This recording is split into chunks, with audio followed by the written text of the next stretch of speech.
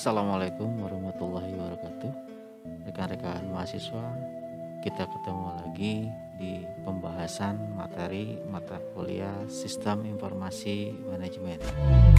Kali ini eh, kita akan membahas tentang eh, memasukkan gambar atau foto ke dalam tag HTML Oke, yang pertama yang harus dipersiapkan adalah uh, file foto-fotonya.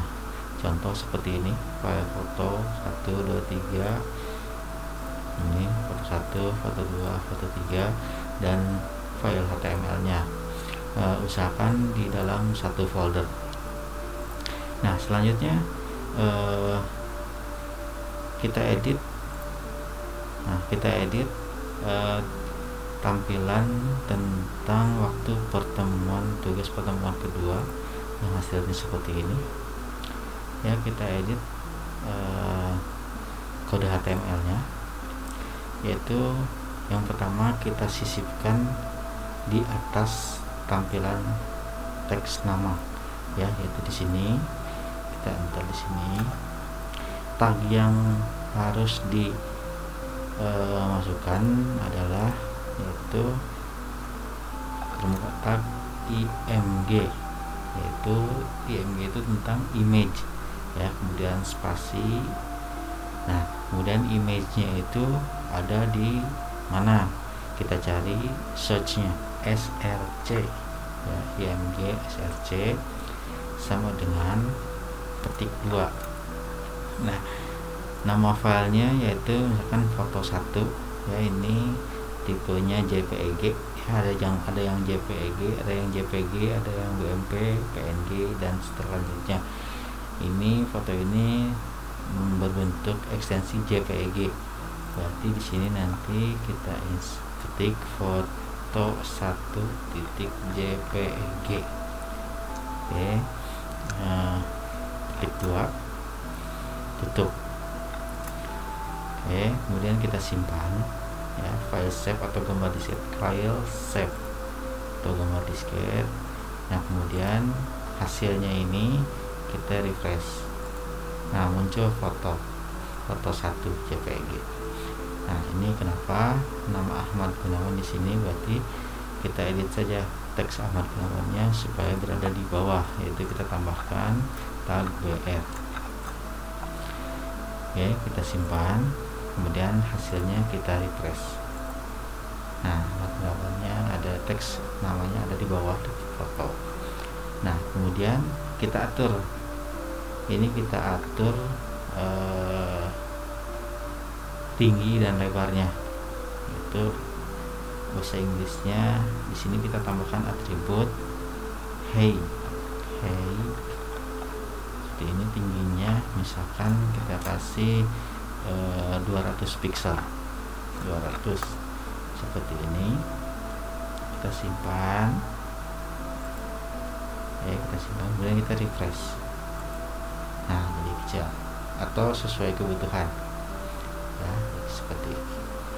Nah misalkan kita ingin menambahkan lagi foto. Jadi fotonya lebih dari satu seperti yang ada di sini. Fotonya sudah disiapkan ada tiga uh, kita copy saja ini. Ctrl C. Kemudian di sini Ctrl V. Nah ini kita ganti foto 2 seperti ini kemudian kita simpan. Kita refresh tampilannya. Ini ada dua. Oke kita copy lagi. Di sini. Oke kita copy lagi seperti ini foto 3 nah foto 3 di sini ini filenya berbentuk tipe PNG berarti berubah JPG menjadi PNG tergantung kebutuhan tergantung fotonya seperti apa. Kita simpan dan kita refresh. Nah ada tiga seperti ini. Atau misalkan uh, yang ini ada di tengah ya. Foto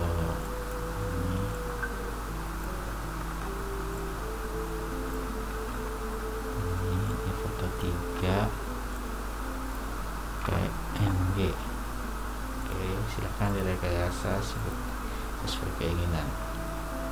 Nah misalkan eh, foto ini kita mau simpan berjajar ke bawah.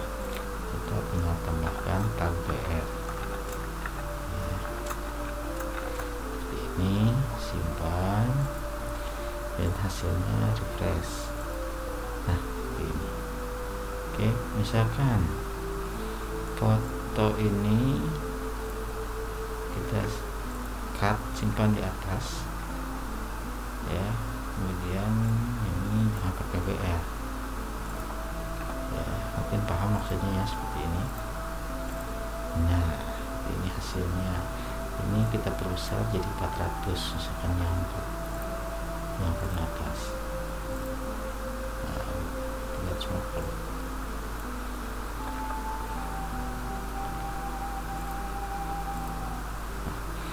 hasilnya seperti ini.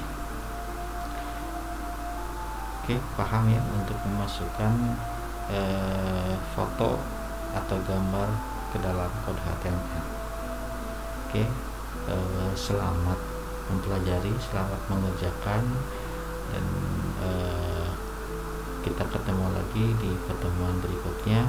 Terima kasih. Wassalamualaikum warahmatullahi wabarakatuh